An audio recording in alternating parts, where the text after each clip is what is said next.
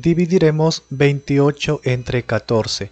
Empezamos viendo esta primera fila, bueno, más bien primera cifra, disculpen, y vemos que es menor que el 14 que está dentro, entonces no alcanza. Así que juntamos con el 8 y ahora se convierte en 28.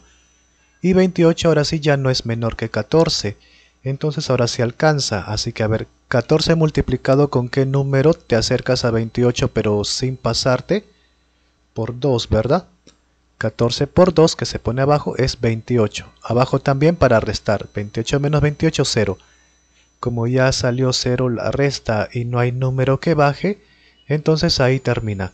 Es decir, 0 es el residuo y 2 el cociente. O sea, 28 dividido entre 14 da como resultado 2. Y fin.